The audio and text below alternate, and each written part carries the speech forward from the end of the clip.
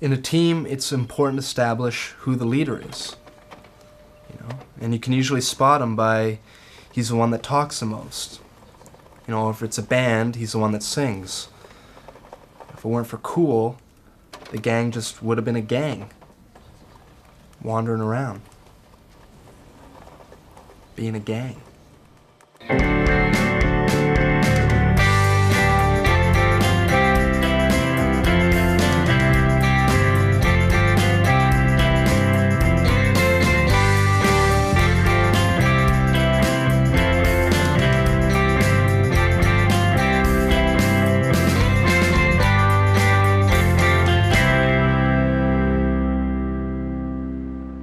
And that's password do's and don'ts. And we're moving on.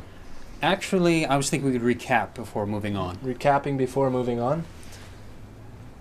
Ted, why don't you pick a partner and uh, tell us what you've learned so far about passwords? Okay, I pick Bryce. It's not what I was going for, Ted. Okay. I pick. I think we can all attempt a guess at who Ted is going to pick. You know, we've all seen office romances and romantic comedies. It seems like good, hilarious fun, right? And hitting on a coworker is like wrong. It's bad. It's bad business. I did not know who I was going to. June, do you want to? Sure, Ted. I'd love to. Okay. Ted and June. Sitting in a tree. K I S S I N G. Okay. We should start. All right. Maybe as assistant manager, I should start it off. Yeah. Okay. Unless you want to start. Whatever's fine Okay. All right. You, oh, I'll start. Uh, You start. Ladies first. Really does. Okay. Yeah. You want to start? Oh, please, one of you just start. Get on with it. Take turns or something. I'll start then. Uh, never share your password and never let anybody watch you type in your password. Thank you, June.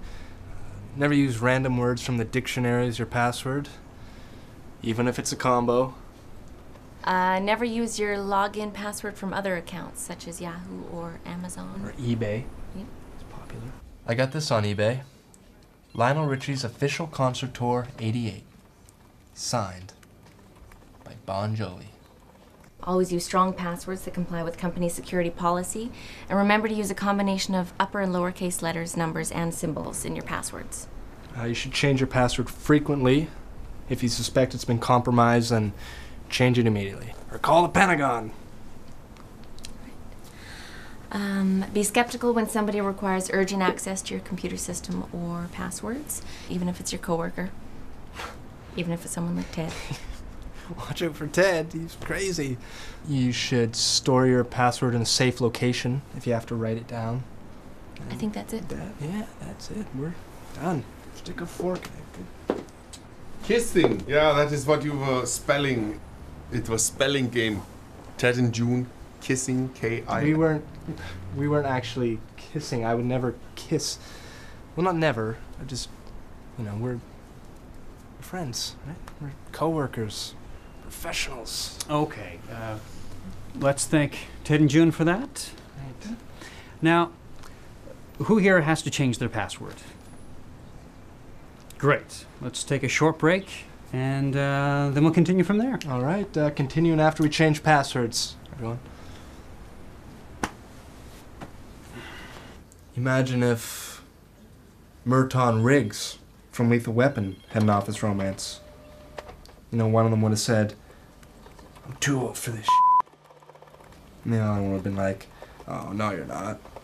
And then they would have hugged and talked for hours, which would have led to this whole conversation about why they haven't committed yet. You know what would have happened? Those smuggling diplomats would have got away with it. Lethal Weapon 2. And that is why office romances are never a good idea.